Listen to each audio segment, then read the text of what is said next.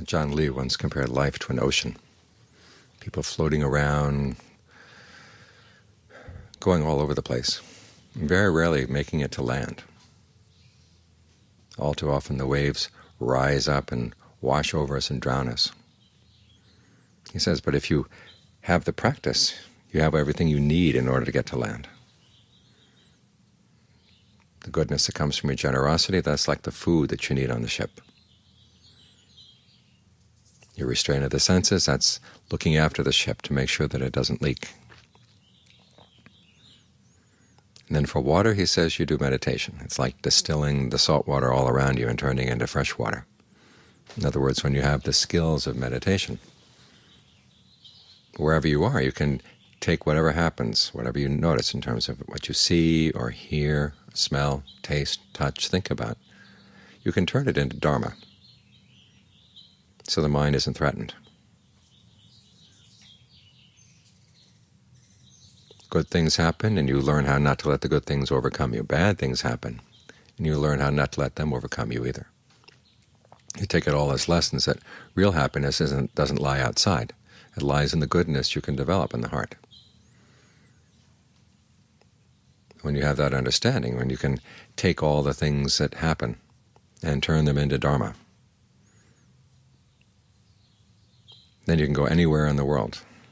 You go across the ocean and you have fresh water all the way, because you know how to distill the fresh water out of the salt water.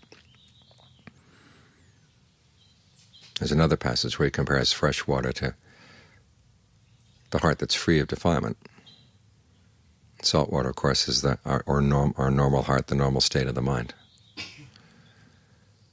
And it's not the case that you have to create fresh water out of something else. The fresh water is there in the salt water. But at the same time, you can't just sort of let things sit and do nothing and let the fresh water separate from the salt. The only way you get the salt to separate from the fresh water is to distill it. Okay, the fire of the distillery stands for your effort that we put into the meditation, getting the mind to concentration, and then trying to understand where there is still greed, aversion, and delusion in the mind, and burning that away as well. You burn it away through your discernment, through being able to separate the, the defilement out from the mind. See that even though there may be these thoughts in the mind, you don't have to identify with them. You can stand back and observe them. And you don't have to be eating or drinking salt water all the time. You can get the fresh water that's in there. If you use your distillery, use your concentration, use your discernment. That way you can travel all over the world, and when the time comes to come to land, you have enough strength to make it to land. You won't be overcome by the winds outside or the waves. You won't suffer thirst even when surrounded by salt water. You hear many times of people who've been stuck in boats and have to go across the, the ocean, and their main problem is that thirst. Salt water is everywhere, and they can't drink anything. But with the distillery of your meditation, you can take that salt water and turn it into fresh water. That way you can feel at home wherever you are. You can be in America, you feel at home. You can be in Asia, in Europe, you still feel at home.